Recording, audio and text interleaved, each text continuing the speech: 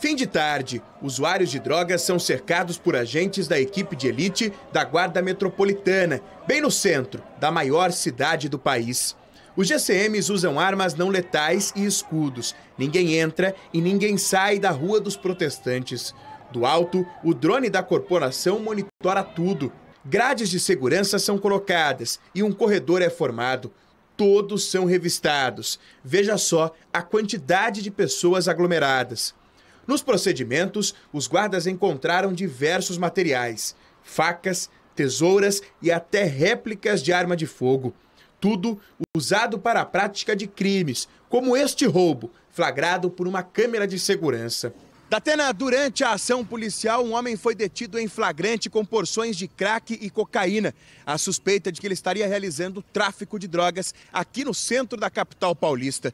Todos os materiais apreendidos foram trazidos para esta delegacia, que já apura uma série de crimes de roubos e furtos.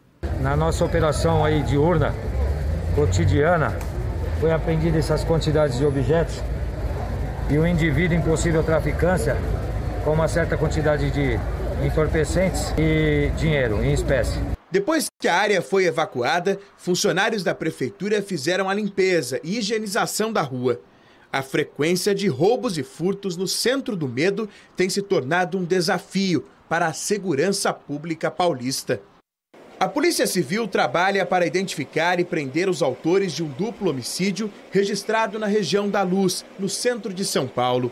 As vítimas são dois homens, um deles identificado como William Lemos dos Santos, de 30 anos. As mortes, cercadas de mistério, aconteceram em uma praça.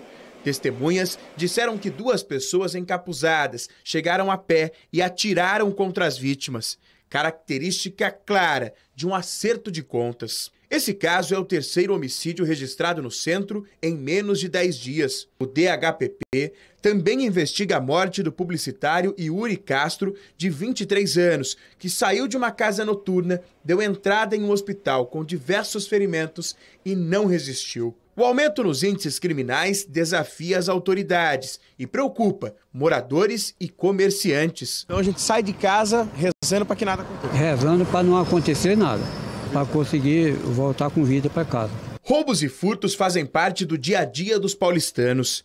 Esse flagrante, exclusivo do Brasil Urgente, é um dos mais recentes. Cinco e meia da manhã, a vítima está na calçada mexendo no celular quando é surpreendida por dois ladrões.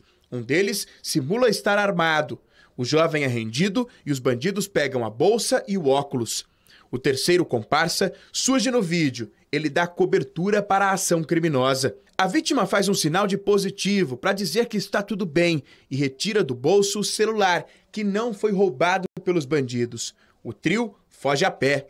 Datena, o crime aconteceu bem aqui nesse ponto da Avenida São João. A polícia acredita que a vítima não estava sendo monitorada, mas se tornou uma presa fácil para os ladrões. E é exatamente isso que acontece todos os dias no centro do medo da capital paulista.